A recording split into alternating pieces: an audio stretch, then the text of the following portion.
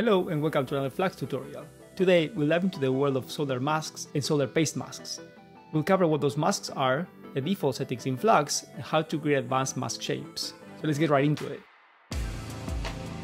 Let's start with the basics. What exactly are masks? If you're familiar with these concepts, feel free to skip ahead and go directly to how to use these masks in Flux. Usually, when we talk about masks, we refer to the solder mask, also known as solder resist. This protective layer shields the PCB exposed copper against oxidation and prevents solder breaching between pads. It is important to note that solder masks are represented in a negative image. This means that what you see marked in your EDA tool or on the Gerber export is where you don't have solder resist material. Another key concept is the solder paste layer or solder paste mask. This mask outlines where solder paste will be applied on the PCB.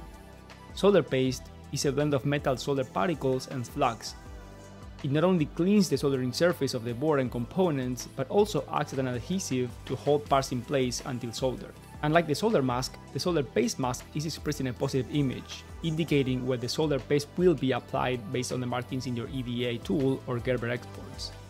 Now let's jump into Flux to see how this works in practice.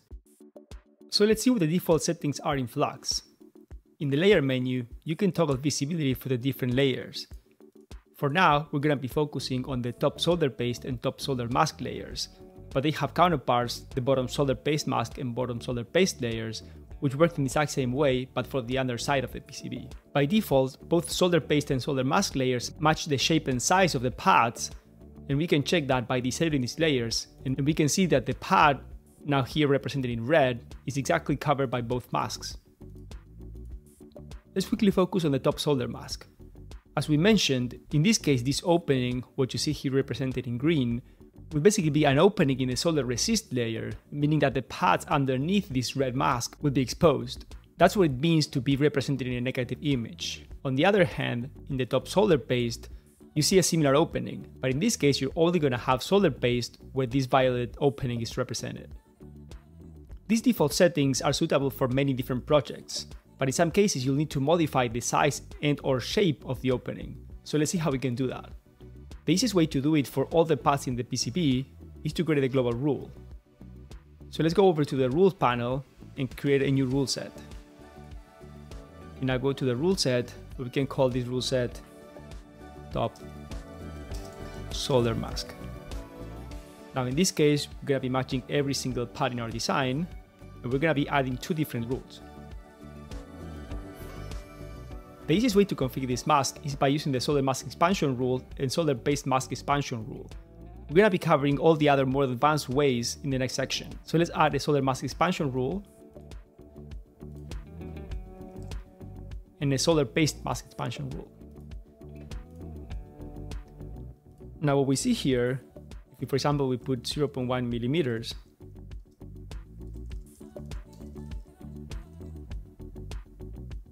we need to add the important flag. This important flag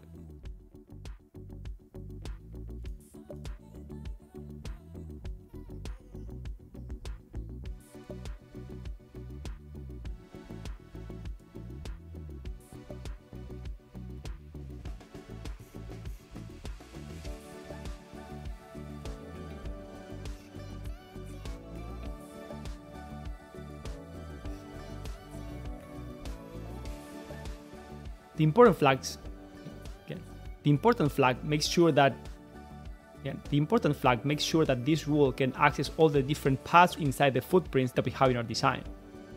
If we enable the top solder mask, we can see here that the opening has now been enlarged. A similar thing will happen if we do 0.1 millimeters on the solder paste mask expansion rule. It is important to note that these two expansion values are calculated from the edges of the pad itself.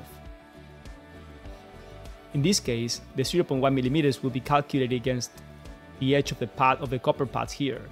So if you put 0.1 millimeters, it will be 0.1 millimeters away in every direction from this pad. Now, let's cover a few more advanced options. It's also possible to do some finer adjustments. So let's take a look at some other examples. For example, what happens if we actually want to have the solder mask be less than the size of the pad. So how do we do that? In that case, what we need to do is let's go back to our rule. And then, for example, in the solder mask, we can put minus 0.1 millimeters. In that case, what happens is that the solder paste mask will be 0.1 millimeters smaller than the pad. We can also control the top and bottom layers independently. So for example, if we add a solder mask expansion bottom, and then we can put this to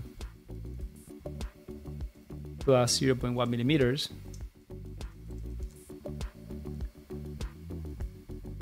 We can now see that the bottom mask will be 0.1 millimeters bigger than the top mask here. We can see the layer menu that the bottom solder mask is this lighter green and the top solder mask is this darker green. And there you have it. We covered the essentials of PCB masking from the very basics to understanding advanced techniques in Flux. If you like what you learned, consider subscribing for more insights on PCB design layout tips and Flux tutorials. Drop any questions in the comments below and stay tuned for our next video. See you around!